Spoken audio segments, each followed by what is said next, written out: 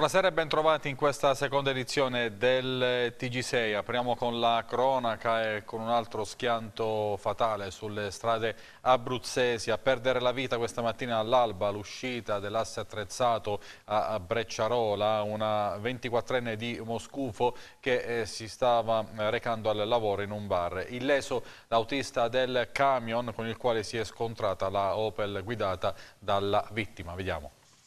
Un tragico incidente stradale questa mattina intorno alle 6 all'ingresso dell'asse attrezzato in località Brecciarola di Chieti dove è morta una ragazza di 25 anni di Moscufo. La giovane di Moscufo in provincia di Pescara si chiama Fabiana Poli ed era alla guida della sua auto, una Opel Corsa, quando per cause in corso di accertamento avrebbe invaso la corsia opposta finendo in un impatto frontale contro il tir condotto da un 46enne di Frosinone rimasto fortunatamente illeso. La ragazza che faceva la barista si stava recando al lavoro e viaggiava in direzione Chieti. Sono stati vani i soccorsi del 118 perché la 24enne è morta sul colpo. Sul posto è intervenuta la polizia stradale di Chieti, oltre ai vigili del fuoco. Il PM della Procura Teatina, Lucia Campo, ha disposto un esame esterno della salma che è stato condotto all'obitario dell'ospedale Santissima Annunziata di Colle dell'Ara. Due feriti in un incidente stradale avvenuto a Villa Raspa di Spoltore in provincia di Pescara. Ieri sera dopo le ore 23 per cause non ancora accertate si sono scontrate frontalmente due auto, una condotta da una donna di, 77 anni, l'altra da un uomo di 68 anni. Il violento impatto ha fatto finire uno dei due mezzi a diversi metri di distanza. I due eh, conducenti sono stati eh, soccorsi da due ambulanze del 118 e della Croce Rossa e trasportati allo all'ospedale civile di Pescara.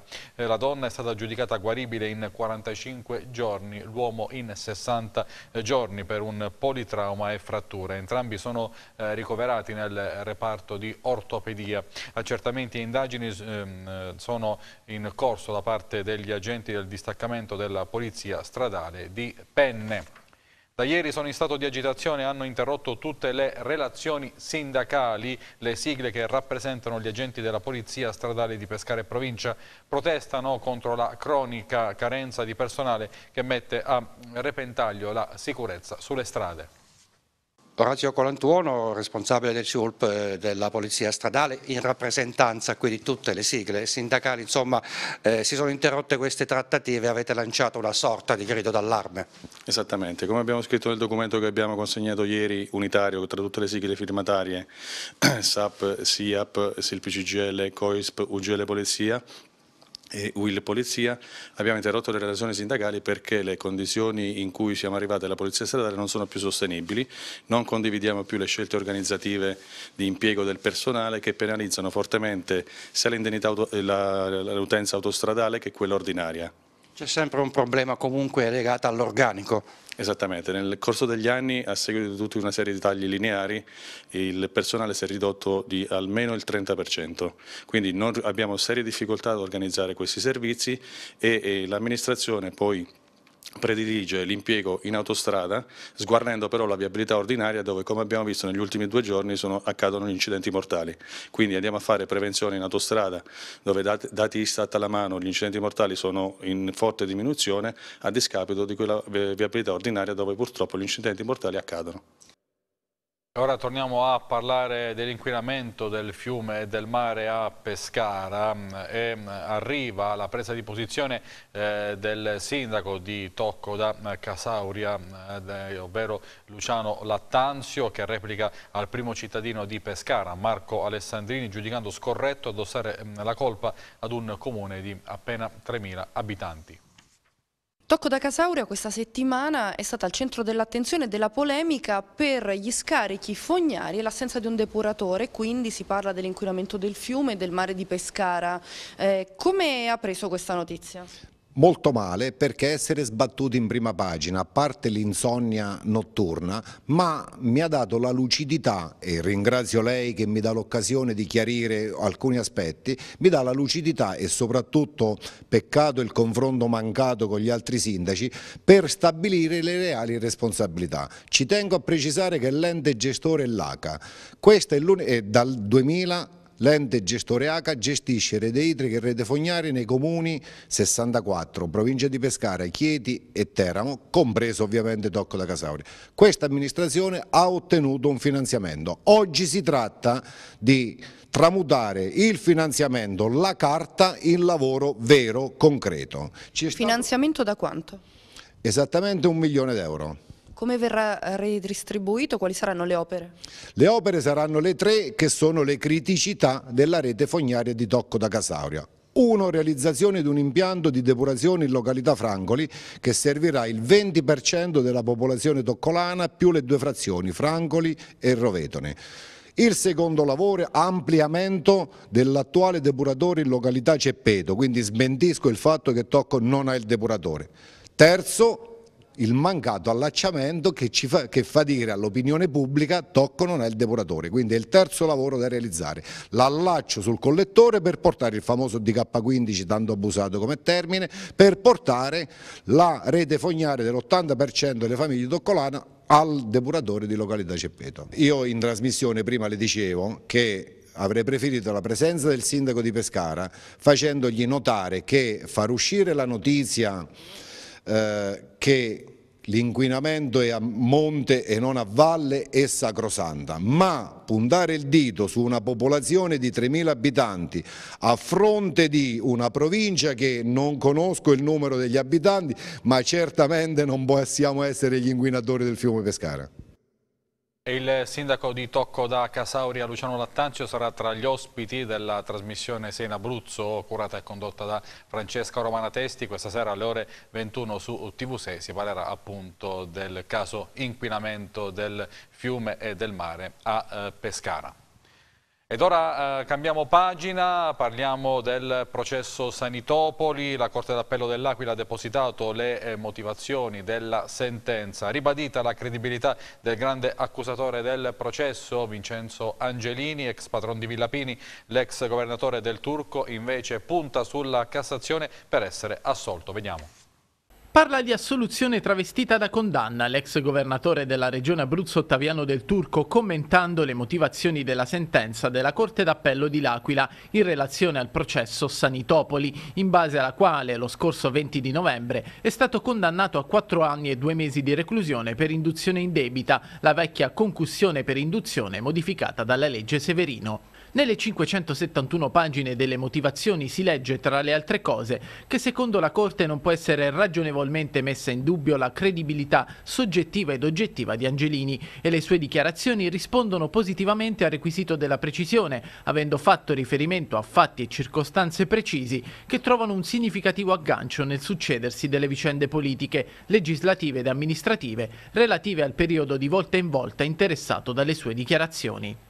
Tra le altre cose, i giudici aquilani evidenziano che l'ex imprenditore della sanità al momento delle dichiarazioni eteroaccusatorie non era sottoposto a misure cautelari di alcun tipo, sicché non sussisteva neppure tale ulteriore profilo potenzialmente utilitaristico a giustificare, quando anche su un piano meramente logico, la volontà maturata di aprirsi con gli inquirenti. Dunque sulle affermazioni della Corte d'Appello si riaccende il duello tra accusatore ed accusato tra Angelini e Del Turco. Il signor Angelini aveva raccontato di essere stato costretto per ben 27 volte a portarmi affannosamente denaro nella mia casa di Colle Longo, ricorda Del Turco. La Corte ha ritenuto insussistenti ben 23 episodi contestati su 18 capi di imputazione. Dunque, prosegue l'ex governatore, di 6,2 milioni di euro che Angelini ha raccontato di avermi consegnato in poco meno di due anni, la Corte d'Appello ne salva una quota irrisoria. Ma per la stessa Corte l'impianto accusatorio regge perché l'ex patron del gruppo Villapini, pur essendosi dichiarato vittima di fatti concussivi, con le sue dichiarazioni ha in concreto riferito fatti oggettivamente tali da esporlo a possibili accuse a suo carico, cosa che poi si è verificata nel processo. Quindi sarà ancora sulla credibilità di Angelini che si giocherà l'ultimo atto del processo sulle tangenti nella sanità abruzzese, con Del Turco che annuncia che proprio di ciò si occuperanno i suoi difensori nel ricorso per Cassazione, che si celebrerà registrerà a Roma, lontano, dice, per quanto possibile, dalle atmosfere, dagli umori, dai condizionamenti che hanno pesato sulla dinamica degli atti processuali. Giornata aquilana per il neo sottosegretario alla giustizia Federica Chiavaroli, sul tavolo l'argomento principale ovviamente non può che essere la ricostruzione. L'attenzione per l'Aquila resta alta e la ricostruzione è una delle priorità nazionali. Lo assicura il sottosegretario alla giustizia Federica Chiavaroli, nuovo centrodestra, che ha oggi incontrato a Palazzo Fibbioni, accompagnata dal consigliere comunale di opposizione Giorgio De Matteis, il sindaco Massimo Cialente, il vice sindaco Nicola Trifuoggi e il consigliere regionale Pierpaolo Pietrucci. Ehm, oggi sono qua per ascoltare i problemi della città, per mettermi a disposizione, come d'altronde ho sempre fatto anche quando facevo soltanto il senatore. Io sono stata relatrice dei provvedimenti più importanti che hanno riguardato l'Aquila, cioè il decreto enti locali e la legge di stabilità e posso assicurare che sull'Aquila c'è un'attenzione continua e costante del governo grazie anche al grande lavoro che io riconosco ai rappresentanti sia del territorio aquilano che della regione Abruzzo che di tutte le parti politiche hanno preferito mettere l'Aquila al centro e non i propri partiti e quindi io credo che come si è fatto in passato anche per il futuro tutte le necessità dell'Aquila saranno accolte. Io credo che eh, in, questa, eh, diciamo in questo completamento della squadra di governo abbiano contato altri tipi di equilibri, d'altronde io al governo rappresento una forza politica diversa dal Partito Democratico e quindi queste sono le ragioni per le quali al governo in questo momento ci sono io. E ora parliamo del protocollo d'intesa mm, che era stato firmato lo scorso 16 dicembre per potenziare eh, l'organico degli uffici giudiziari di Teramo, un protocollo che era stato sottoscritto dalla Regione Abruzzo e, e dalla eh, Procura, ma che non ha eh, prodotto risultati utili ed è stato definito letteralmente inutile. Vediamo. L'accordo presentato e firmato in pompa magna lo scorso 16 dicembre 2015 con tanto di passerella e firma davanti ai presenti dal presidente della regione Luciano D'Alfonso non è servito a nulla. Il supporto promesso al Tribunale dalla Regione, infatti, per potenziare l'organico degli uffici giudiziari non ha prodotto risultati. Sono solo due le domande arrivate, una è stata revocata, l'altra è disponibile solo due giorni a settimana. La montagna ha partorito un topolino, parole del procuratore di Teramo, Antonio Guerriero, che deluso è tornato a parlare della cronica carenza di organico che affligge gli uffici giudiziari. Colpa di nessuno. Il problema è che a seguito di questo protocollo finora ci sono state poche domande, quindi l'invito che facciamo alle persone che sono abilitate a fare domande, di fare domanda, perché se non fanno domanda non, noi non possiamo assumere. E abbiamo bisogno fondamentale di personale poiché gli impegni, gli affari stanno crescendo sempre di più, le esigenze dei cittadini crescono e noi a queste esigenze dei cittadini dobbiamo dare una risposta immediata. Abbiamo pochi cancellieri, molti sono anziani e stanno per andare in pensione, ha aggiunto il procuratore. In questo momento inoltre, come procura, siamo privi anche del dirigente amministrativo. Una situazione difficile soprattutto in un momento nel quale, come sottolineato da Guerriero, soprattutto lungo la fascia costiera, ci sono situazioni che stanno degenerando con fenomeni criminali che vanno controllati e combattuti. La collaborazione tra Regione, Tribunale e Procura era stata così motivata e presentata dal Presidente D'Alfonso. Un'abbondanza quella della Regione, 1547 dipendenti, con un bisogno di formazione, di affinamento formativo che hanno i dipendenti della Regione, si combini con un'esigenza, con una mancanza che è quella del Palazzo di Giustizia, in questo caso di Teramo, per fare in modo che si determini a favore degli uni una prestazione collaborativa professionale, a favore nostro un dato di formazione. In sostanza veniva riprodotto un modello che è già in applicazione all'Aquila, Vasto, Lanciano e Avezzano, che però con Teramo non ha funzionato. Visita in Abruzzo e a Pescara in particolare per l'ambasciatore della Mongolia che accompagnato dal senatore Antonio Razzi ha incontrato il sindaco di Pescara Marco Alessandrini e il presidente della Camera di Commercio di eh, Pescara Daniele Becci. Senatore Razzi, eh, qui a Pescara oggi alla Camera di Commercio con l'ambasciatore della Mongolia per far conoscere un po' l'Abruzzo sicuramente.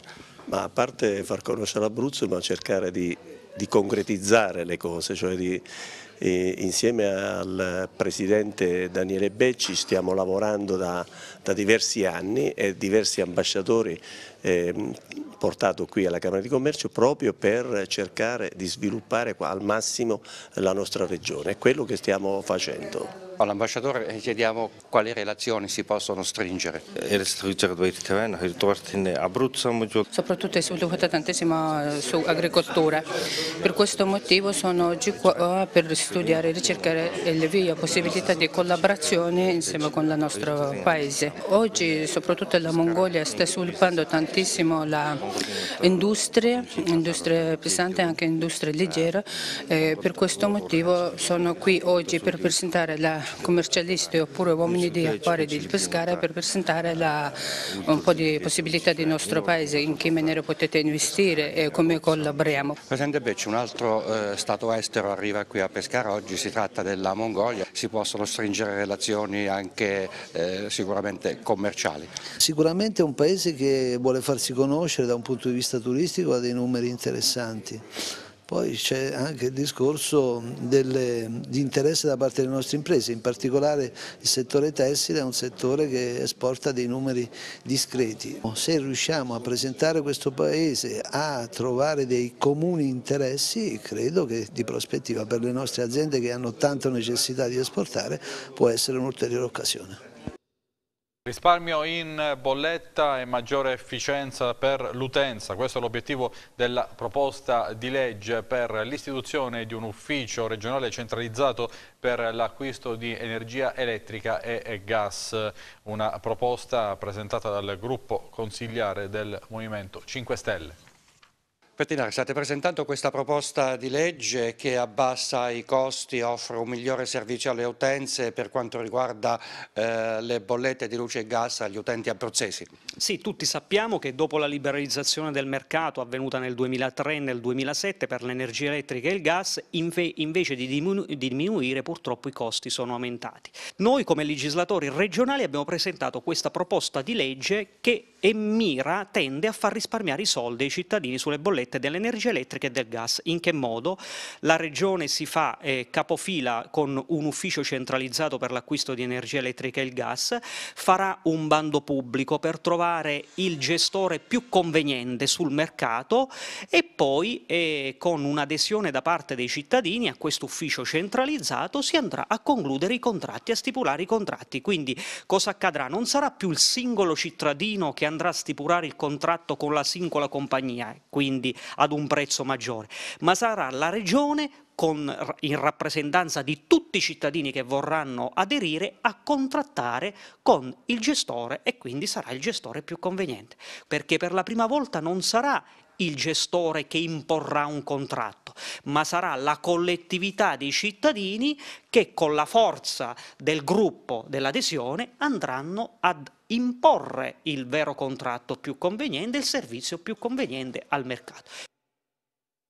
E ora apriamo la pagina dello sport, lo facciamo attraverso la eh, schermata del, eh, di questa ventisettesima giornata del campionato di Serie B, una giornata che si aprirà questa sera con l'anticipo tra Bari e Latina, i due posticipi saranno domenica Salernitana Crotone e eh, lunedì mm, Perugia e Trapani. Le gare di domani ore 15, Ascoli Como, Cagliari Pescara, Livorno Cesena, Modena Brescia, Novara eh, Ternana, Provercelli eh, Virtus Entella, eh, Spezia Virtus Lanciano e Vicenza Avellino. Chiaramente grandi attenzioni eh, sul big match del Sant'Elia di eh, Cagliari, un big match cui purtroppo per il Pescara i biancazzurri arrivano con diverse defezioni, soprattutto in eh, difesa. Ma per le ultimissime eh, ci colleghiamo con Cagliari dove c'è la nostra troupe con eh, Paolo Renzetti e Gaetano eh, Tereo per le, appunto, per le ultimissime buonasera Paolo.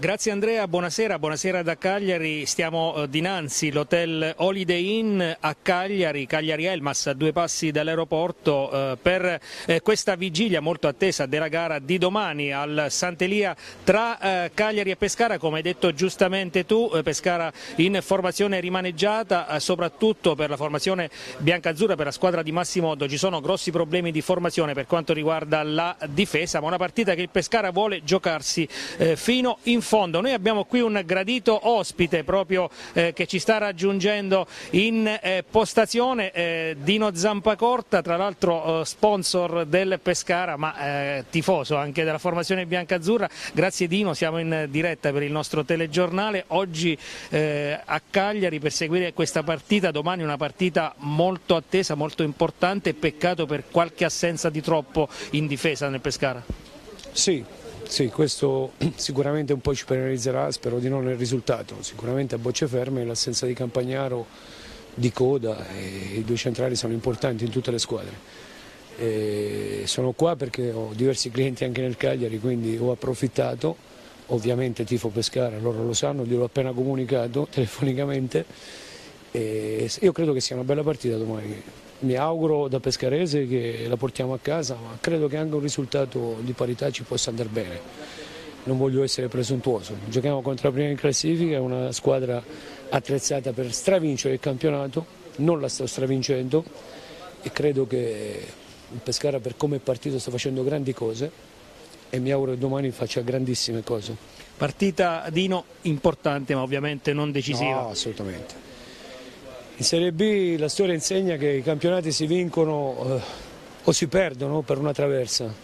Purtroppo l'anno scorso è andata in quel modo lì che tutti sanno, il Bologna si trova in Serie A con eh, due colpi di fortuna, uno con noi e uno con l'Avellino, ma eh, i campionati si vincono dalla quintultima in su di campionato, quindi se noi siamo lì ci siamo per merito, spero che la squadra mantenga questa condizione, con l'arrivo anche del bel tempo sicuramente gli infortuni saranno molto meno, non solo per noi ma anche per gli altri, ma se noi siamo al completo credo che non abbiamo nulla da temere né dal Cagliari tanto meno dal Crotone. Hai detto noi, quindi eh, ormai eh, sei sponsor del Pescara, però qualcuno chiede quando Zampacorta diventerà dirigente no, del Pescara. No, no, ma a prescindere da sponsor adesso io, parliamo serio, insomma. Mi è stato chiesto di dare un contributo, l'ho fatto molto volentieri perché è la squadra della mia città, me l'avevano chiesto tantissime altre squadre, voi sapete sono 25 anni che lavoro nel mondo del calcio, sono stato legato per 15 anni a un'altra società su al nord, e, ma io sono un tifoso pescarese, insomma voglio dire, io Pescara per me deve vincere, deve vincere adesso, deve vincere prima, se poi vince con il mio logo dietro vuol dire che porto anche fortuna, quindi è ancora meglio. Bene, grazie, grazie prego, a Dino Zampacorta. Prego. Io chiamo eh, vicino a me e ringrazio il collega Enrico Rocchi. Ciao eh, ciao, Paolo. ciao, Enrico, buonasera. Allora, eh, parlavamo con Dino Zampacorta di questa partita, eh, Enrico, importante, non decisiva, eh, peccato non poter disporre eh, di tutti gli effettivi, soprattutto in difesa, tante assenze pesanti. Sì, però come dice, intanto buonasera, come dice giustamente il tecnico Oddo, le assenze fanno parte della storia di un campionato e il Pescara, nonostante abbia questa rosa molto ampia, ha questa emergenza in difesa. Tutti dicono che giocherà a Mandragora, potrebbe essere una sorpresa perché andando poi a ritroso nel tempo il Pescara scoprì un difensore mi riferisco alla stagione 1977, Galbiati, che era un centrocampista di qualità, fu impiegato a Brescia come eh, libero proprio per una eh, necessità, per eh, tanti infortuni e Galbiati poi è diventato uno dei difensori più forti eh, d'Italia di quel tempo, ricordi poi nell'Inter e nella Fiorentina. Poi c'è un altro caso, quello di Salamon che è partito centrocampista ed è diventato un, eh, un difensore di, di spessore. Ci auguriamo che Mandragora se lui eh, si imporrà come centrocampista ben venga Mandragora in quel ruolo, altrimenti ha un'altra posizione eh, in campo che potrebbe dargli delle soddisfazioni, quindi non bisogna mai avere come alibi quello, quello delle assenze. Qui a Cagliari, visto c'è molto entusiasmo, forse ci sarà il tutto esaurito. Enrico c'è anche un altro dubbio per quanto riguarda eh, la porta perché sia Fiorillo che Aresti sono reduci dall'influenza, solo domani Oddo deciderà chi far scendere in campo. Ecco questo può essere un problema, ci auguriamo che almeno uno dei due stia bene, altrimenti ci sarà il vecchio Aldegani che quando è stato chiamato in causa ha dato il suo contributo, ripeto non devono esserci alibi, certo in porta speriamo che ci sia eh, o Fiorillo o Aresti, altrimenti andremo avanti con Aldegani. Bene, grazie, grazie Enrico Rocchi, domani Radio Cronaca su Radio California, eh, noi saremo in diretta per diretta stadio, eh, la squadra sta um, cenando Andrea uh, proprio all'interno dell'albergo, qui uh, alle nostre spalle c'è comunque un clima di moderato ottimismo e ovviamente i biancazzurri pronti a giocarsi tutte le loro carte. Domani nella gara con il Cagliari al Sant'Elia, come diceva Enrico Rocchi ci sarà il tutto esaurito con 16.000 spettatori, è tutto eh, qui da Cagliari, dall'esterno dell'hotel Holiday Inn di Cagliari. Io ringrazio eh, Gaetano Terio per l'assistenza tecnica e restituisco la linea allo studio.